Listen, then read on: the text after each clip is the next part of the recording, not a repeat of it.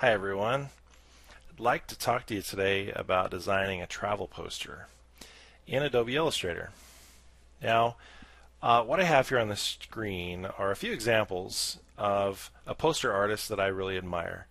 His name is Michael Schwab, and he's known for doing uh, these really dramatic and interesting posters uh, for the Park Service and for clients, you know, around the country.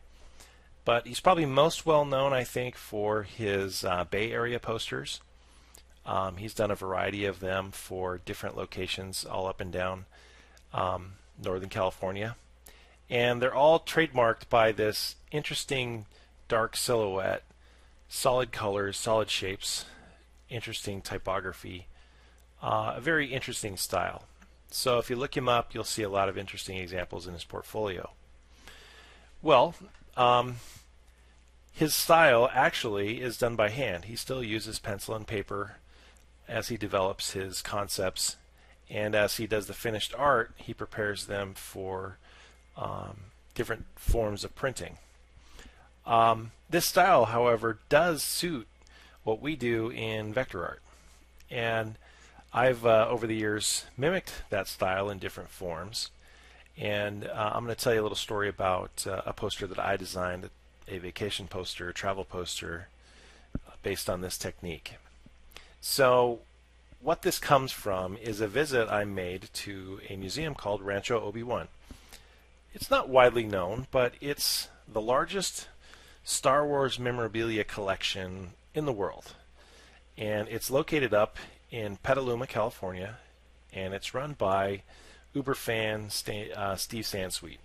And I just love visiting there. It's a lot of fun to see all the stuff and to get a you know a personal tour of all the toys and merchandise and everything that has surrounded the the development of Star Wars over the years. And so for somebody like me, it's a place I wanted to visit.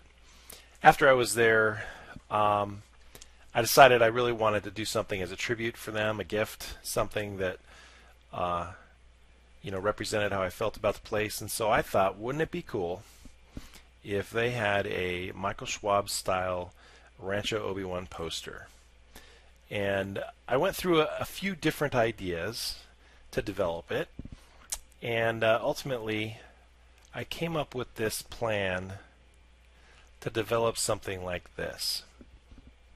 Now, this is the rough sketch. Okay, uh, I like to draw, I like to sketch, and so for me, this is where I do a lot of my thinking. I think about what I'm going to do, and I think about position and placement and design on paper. That really unlocks your ability to to cycle through ideas.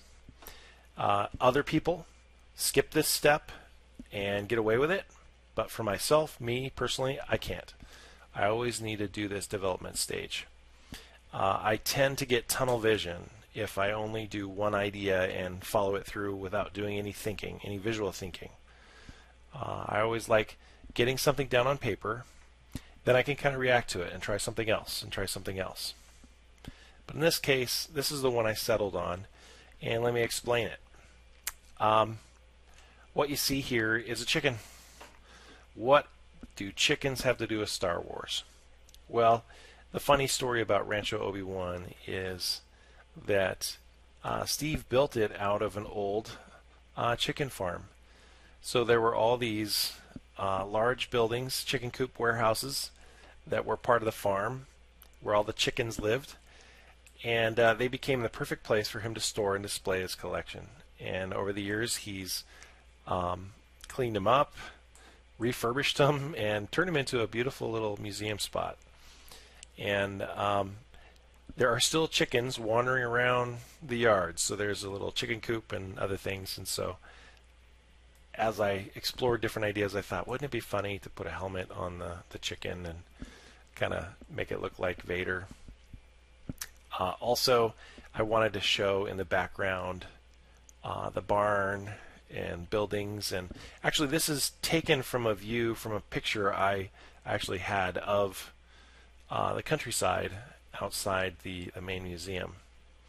Then I thought, wouldn't it be cool to have a face kind of revealed in the clouds? Now this is Rancho Obi-Wan, so it uh, facing the clouds kind of serves a dual purpose. You've got Obi-Wan Kenobi and Steve Sansweet himself up there in the sky. So it's a little bit of a combo.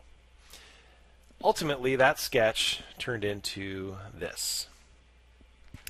So what you have is a uh, a poster built out of that concept, done in that Michael style. So I tried to pay attention to dark silhouettes, really focus on bold lines, and set up a nice grid pattern to create what looks to me more like a uh, rule of thirds type uh, composition grid. So to develop this, I use another set of preliminary steps. And so let me bring you over to the preliminary art here, or the, the final art actually. And you can kind of see how that's developed. I'm going to turn off my layers here so you can get down to, to where we start. so this is what I call my down and dirty Franken design. Um, when I say Franken design, I mean like Frankenstein, taking different unrelated photos and mashing them together to build my own reference. Uh, I like working from photo reference. I need to work from photo reference. It's what helps me develop my ideas. Um, and uh, in this case, working in Illustrator, uh, I needed that to help develop and render my concept.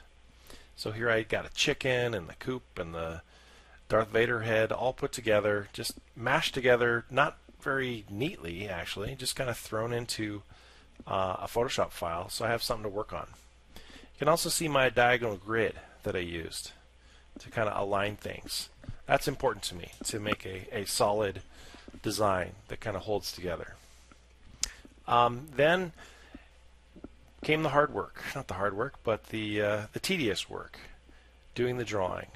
And so using subsequent layers, uh, I would work on subsequent pieces of the, the artwork to develop them as I went. Started with the sky and the face and the clouds. Started working on trees and objects in the foreground. Um, these were done in combination using the blob brush, using the pen tool, um, using other shape tools uh, to create those silhouettes. Uh, ultimately, we got to the chicken. And then finally, the logo design. And this logo was a lot of fun actually to work on.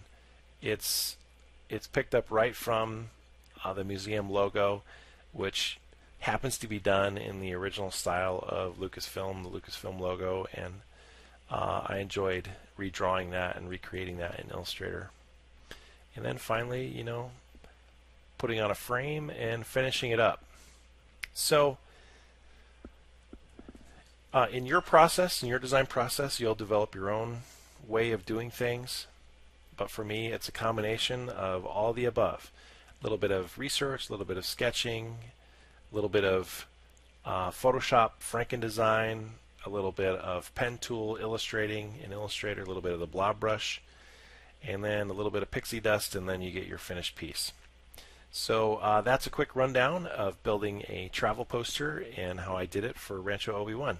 All right, see you guys next time.